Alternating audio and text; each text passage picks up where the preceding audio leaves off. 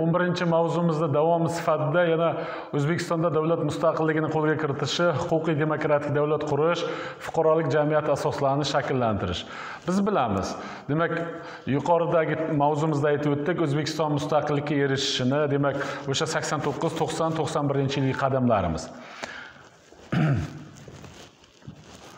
Demak siyosiy islohotlar davlat hokimiyatini milliy huquqiy demokratik asoslarni barpo etilishi siyosiy islohotlar. Biz bilamiz o'zbekiston respublikasi mustaqillik to'qson birinchi yil e'lon qilgan bo'lsa demak o'zbekiston e, siyosiy hokimiyati uchga bo'linadi. Bu qonun o'zbekistonda davlat qurilishi uchga bo'linadi. Bu demak qonun chiqaruvchi ijro etuvchi sud hokimiyati. Qonun chiqaruvchi bu oliy kengash oliy majlis yo bugungi kunda parlament deyiladi. Ijrochi hokimiyat bu vazirlar mahkamasi deyiladi. Qonun e, e, nazorat qiluvchi organ sud hokimiyati deyiladi. To'rtinchi nodavlat organ bu ommaviy axborot vositalari hisoblanadi. Qonun chiqaruvchi organimiz oliy majlis hisoblanadi. Dastlab bu oliy kengash deyilgan. Oliy kengash uchta bosqichni bosib o'tgan tarixda oliy parlamentgacha bir ming to'qqiz yuz to'qson to'qson to'rtinchi yillarda oliy kengash deyiladi. bir ming to'qqiz yuz to'qson besh ikki ming beshinchi yilda oliy majlis deyiladi. ikki ming beshinchi yildan to hozirgi kungacha parlament deb ataladi. Oliy kengashda biz bilamiz e, Э, besh yuzga yaqin deputat bo'lgan ko'proq tayinlanish asosida. Bu demak qandaydir darajada biz e, mustaqillik davrida sssrni boshqaruv tizimidan ya'ni e, fuqarolik e, demokratik jamiyatga o'tish davridagi boshqaruv idorasi bo'lgan. Undan tashqari to'qson beshinchi yildan ikki ming beshinchi yilgacha oliy kengashdan oliy majlisga o'tdik. Oliy majlis demak bu saylanadigan hokimiyat bo'ldi. Demak ikki yuz ellikdan iborat deputat bo'ldi. Lekin oliy kengash nima uchun oliy majlisdan biz voz kechdik? Chunki u bitta palatadan iborat edi. Lekin 2005 yildan boshlab biz oliy majlisga o'tdik oliy majlis e, parlamentga o'tdik. Parlament ikkita palatadan iborat bo'ldi. Demak yuqori va quyi palata. Quyi palata demak 2005 yildan boshlab 150 ta deputatdan iborat birinchi dastlab 120 ta keyin 150 ta deputatdan iborat bo'ldi. Yuqori palata senat demak har bir viloyatdan 6 tadan deputat olinadi va e, biz 14 ta subyektdan 84 ta va 16 tasi prezident tomonidan tayinlanadi. Shuning uchun aytishimiz mumkin parlament oliy majlisdan yaxshiroqdir. Chunki deganda qonunlar bundan keyin bitta palatada ko'rib chiqilgan endi demak quyi palata ishlab chiqarilsa chiqarsa yuqori palata uni tasdiqlashda qatnashadi. Bu bilan qonunlarni sifat darajasi oshadi. Qonunlar demak e, jamiyatda foydalanishda foydalanishda uni sifat darajasi oshadi va qonunlar e, demak e, insonparvarlikka yo'naltiriladi endi yana aytishimiz mumkin bu yerda mana misollar bilan keltirganmiz. Eski davlat hokimiyati va boshqaruv organlarini barham topishi mana shu to'qson beshinchi yillargacha davom etdi deb hisoblaymiz. Chunki deganda oliy kengashdan oliy majlisga o'tish bu o'sha davrdagi bir vaziyat hisoblangan. O'zbekistonda demak e, oliy kengash oliy majlis parlament paydo bo'lishida ko'p partiyaviylik tizimi o'ta muhim hisoblanadi. Chunki deganda partiyalar o'rtasidagi demak dasturlarni raqobati fuqarolik jamiyati demokratik jamiyat jamiyatlar amalga oshirishda o'ta muhim hisoblanadi. Partiya bu kim? Bu xalq hisoblanadi. Shuning uchun oliy majlis kim? Bu xalq hisoblanadi. Senat kim? Xalq hisoblanadi. Shuning uchun prezident kim? Davlat vakili e, e, xalq vakili hisoblanadi davlat boshqaruvida. Shuning uchun bugungi kunda biz prezident saylaymiz. Demak oliy majlisni saylaymiz. Quyi palata qonunchilik. Yuqori palata senatorlar ham saylanadi.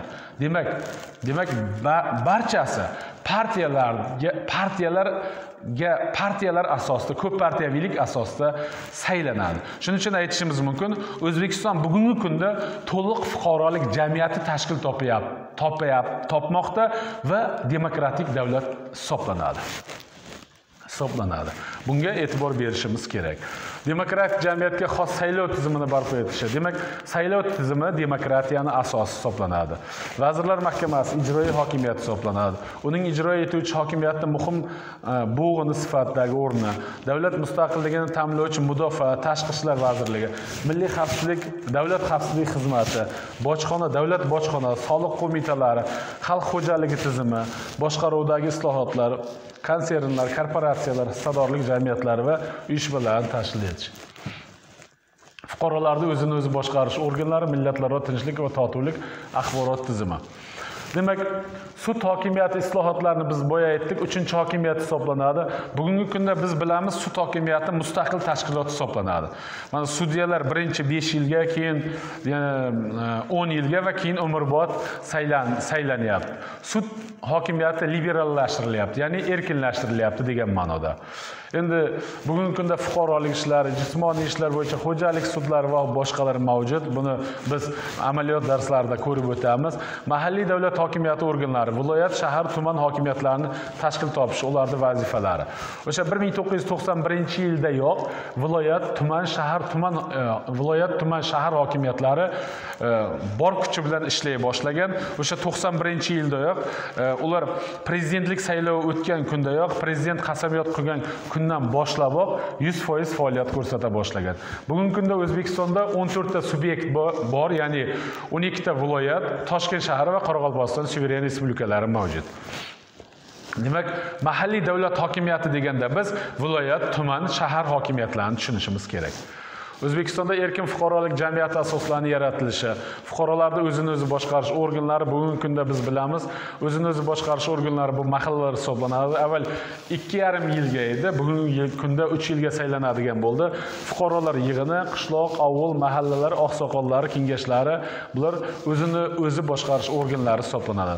O'zbekistonda millatlararo totuvlik. Biza bilamiz bir ming to'qqiz yuz to'qson birinchi yilda o'zbekistonda o'n ikkita e, millatlararo tinchlik va totuvlikni ta'minlash uchun o'n ikkita milliy markazlar mavjud bo'lgan. Bugungi kunda bir yuz o'ttizdan ortiq e, millatlararo e, tinchlik va totuvlikni saqlab turuvchi demak milliy markazlar mavjud. Endi o'zbekiston tolerant davlat hisoblanadi. Dunyoviy tolerantlik asosida qurilgan davlat hisoblanadi. Tolerantlis degani asli ma'nosi chidamlilik degani. Buni ma'nosi nima bir yuz o'ttiz xil millat birini bir birini millat e, diniga tiliga urf odatlariga chidash kerak va fuqarolik jamiyatida va demokratik davlatda bir birini tan olgan holda hurmat qilgan holda yashash kerak. Shuning uchun millatlararo tinchlik va totuvlik deb ataladi. Tolerantlik so'zini ma'nosi shu. Axborot tizimini erkinlashtirish. Demak o'zbekiston mustaqillikka erishgandan boshlab to'rtinchi hokimiyat bu axborot tizimi erkinlashtirish hisoblanadi. Bugungi kunda ommaviy axborot organlari gazeta jurnallar televideniyalar radio va jumladan bugun to'qson oltinchi yildan boshlab biz internetga a'zo bo'lganmiz. Faoliyat ko'rsatyapti. To'rtinchi hokimiyat mustaqil hokimiyat. Demokratik va fuqarolik jamiyatini shakllantirishda ommaviy axborotlar organlarini o'rni bugungi kunda yuqori darajaga ko'tarildi. Chunki biz aytyapmiz qonun chiqarilyapti. Demak vazirlar mahkamasi ijro etyapti sud hokimiyati nazorat qilyapti.